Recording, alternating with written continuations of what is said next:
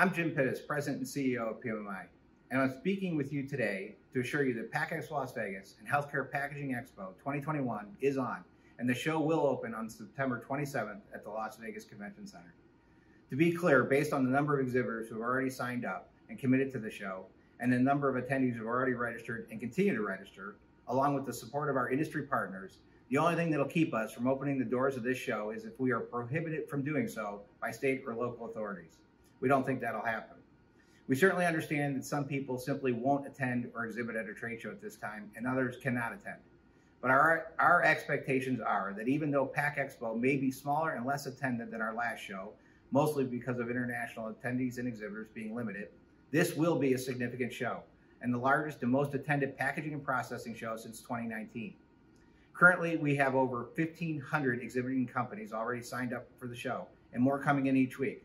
In spite of a few cancellations, we added a net 50 new exhibitors just in the last few weeks.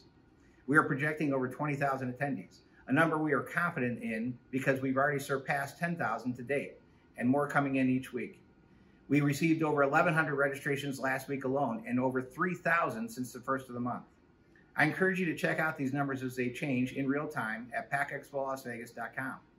On the front page, we've added an attendee registration counter that will update every day and shows how we compare to prior years.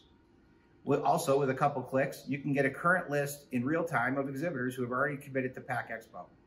In addition to attendee and exhibitor registration numbers, we are closely following the hotel reservations and event registrations for things happening at the show, and everything looks good. Our Women's Leadership Network breakfast opened registration last week and already has over 200 registrants.